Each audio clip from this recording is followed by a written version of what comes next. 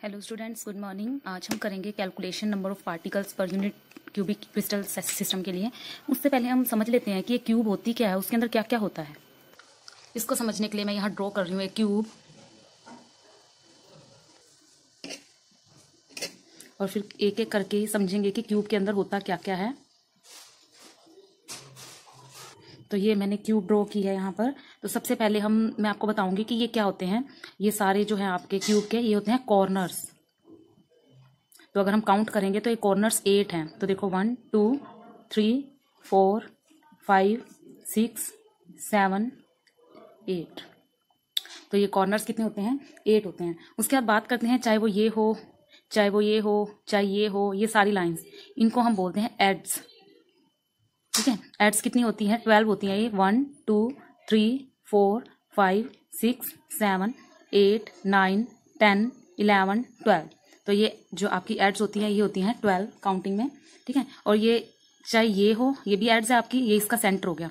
अगर ये बात करते हैं तो ये एड्स का सेंटर है। यहाँ बात करते हैं तो ये एड्स का सेंटर है। तो इनको बोलते हैं एड्स सेंटर ठीक है? ये एड्स का सेंटर हुआ।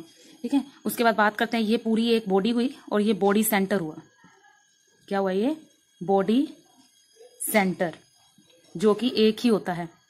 ठीक है? और ये बात करते हैं फेस की तो कल मैंने दिखाए भी थे आपको एक, दो एक, दो, तीन, चार, और एक ये फ्रंट वाला, एक इसके बैक वाला। सिक्स जो है आपके फेस होते हैं।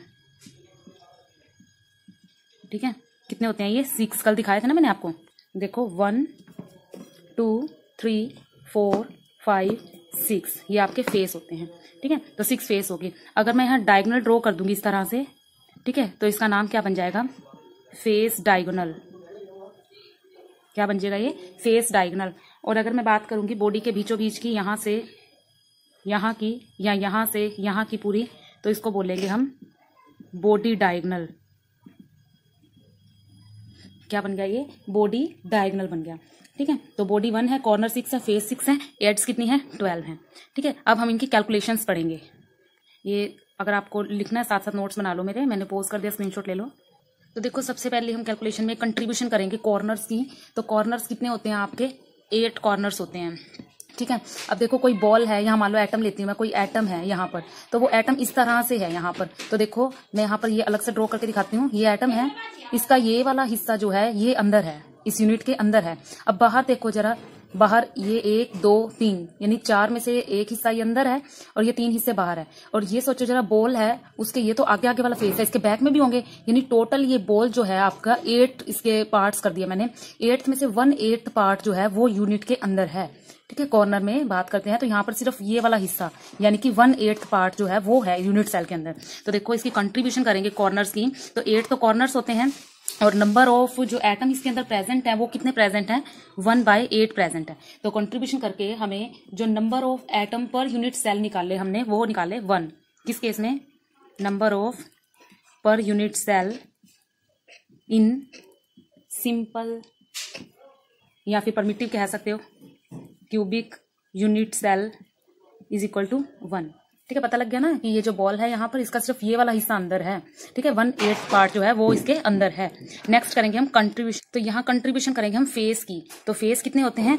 सिक्स होते हैं। अब देखेंगे कि जो ये एटम्स हैं ये कितने मतलब फेस के अंदर रहते हैं? कितने परसेंट ठीक है कितना पार्ट अब ये बॉल है देखो ये फेस के मैंने यहाँ रख दी। ठीक है? तो देखो फेस का जो आधा हिस्सा है वो तो अंदर है और आधा हिस्सा है बाहर। ठीक है? तो यहाँ पे जो बॉल है, ये फेस इसमें ऐसा नहीं होगा कि इसके चार पार्ट बनेंगे। क्यों? क्योंकि पूरी आधी की आधी बॉल ठीक है? जो ये आधी की आधी बॉल है, ऊपर वाली सारी, आगे का हिस्सा भी, पीछे का हिस्सा भी फेस के अंदर है, ठीक है? तो ये इसका वन हाफ़ जो पार्टिसिपेट करवा रहा है यूनिट के अंदर, सिर्फ़ वन हाफ़ है, ठीक है? तो कंट्रीब्यूशन कितनी हो जाएगी? थ्री हो जाएगी, ठीक है? अब हम निकालेंगे नंबर ऑफ़ एटम्स लिखना भूल ही गई।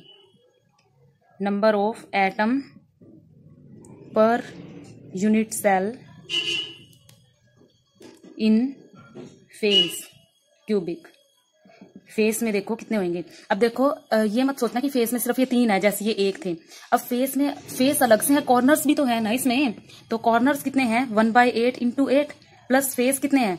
Six into one by two तो ये हो जाएगा आपका one plus three is equal to four तो इसकी कैलकुलेशन नंबर ऑफ़ एटम निकले फेस सेंटर के लिए। फेस ये वाला फेस नहीं है, ये वाला फेस है।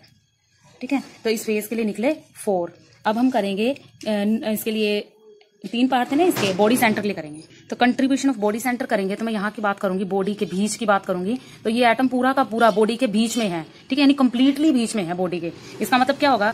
बॉडी कितनी है? वन ठीक है? और एटम कितने हैं? वन यानी टोटल बॉडी सेंटर में क्या आ गया आपका? वन आ गया। ठीक है, पता लग गया ना कैसे आए ये? ये पूरा का पूरा बीच में है। एक मतलब इसका एक हिस्सा सामने दिख रहा है, एक हिस्सा इसके पीछे है, यानी कि पूरा का पूरा एटम यानी पूरी की पूरी बॉल ठीक है, ये है। अब इसके नंबर ऑफ़ एटम निकाल लेंगे। Number of atom per unit cell in body centre cube तो बॉडी सेंटर में देखो एट कॉर्नर तो है ही है, ये तो सब में होएँगे ही आएँगे one by eight into eight plus body centre खुद कितना है? वन इसको सोल्व करेंगे वन प्लस वन ये कितना आ गया? टू ठीक है तो देखो, ये निकाली कंट्रीब्यूशन हमने। कॉर्नर के लिए, ठीक है? यानी सिंपल थी, फिर फेस सेंटर के लिए, फिर बॉडी सेंटर के लिए। और अब हम निकालेंगे एंड सेंटर के लिए लास्ट तो देखो एंड सेंटर की बात करेंगे तो यहाँ की बात करती मान लो यहाँ पर कोई बॉल पड़ी है, ठीक है? बॉल का ये वाला पूरा हिस्सा अंदर है, ठीक है? और ये जो एड्स है आपकी, ये एड्स ये वाली भी है और ये वाली भी है, ठीक है? यानी वन बाय टू ये और ये जो आपकी होगी पूरी कंप्लीट जो एक एड्स है, यानी कि एक किनारा जो है, वो शेयर करेगा अगली चार यूनिट सेल के साथ। ठीक है? चार यूनिट सेल के साथ वो जो किनारा है, आपका वो कर सकता है। तो इसकी कॉन्ट्रीब्यूशन होएगी वन बाय फोर ठीक है? और जब हम इसके दिखा लेंगे नंबर ऑफ़ एटम्स वो क्या निकलेंगे? एड्स के लिए क्या निकलेंगे? टोटल एड्स बारह होती हैं। बारह गुना एक बटे चार plus one by eight into eight corner के लिए वन प्लस थ्री सोल्व करोगे थ्री आएगा। तो ये निकल गया फोर तो इसको पोज कर, इसका स्क्रीनशॉट ले लो। वेरी इंपॉर्टेंट टॉपिक है। ठीक है? तो अगली वीडियो में अगला पोर्शन पढ़ेंगे. Thank you